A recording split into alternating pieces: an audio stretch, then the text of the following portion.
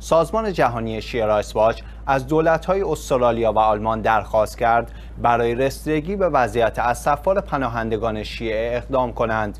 این سازمان جهانی که مقر اصلی آن در ایالات متحده آمریکا است و در زمینه دفاع از حقوق شیعیان در سراسر جهان فعالیت می کند با انتشار بیانیه ای به مناسبت روز جهانی پناهندگان اعلام کرد در چنین ماهی جامعه بین‌الملل روز جهانی پناهندگان را گرامی می‌دارد و به دولت‌های مختلف جهان یادآوری می‌کند که به وضعیت پناهندگان و پناهجویان که مردمی سرکوب شده به شمار می‌روند رسیدگی کنند.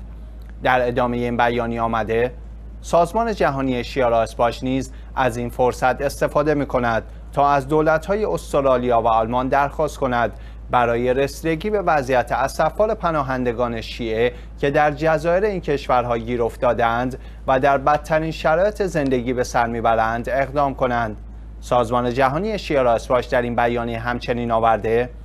متاسفانه این پناهندگان شیعه از ساده ترین و کمترین حقوق قانونی و اخلاقی خود هم محروم شدند. لذا باید هرچه سریعتر جلوی این اتفاق را گرفت و به وضعیت فعلی آنها پایان داد.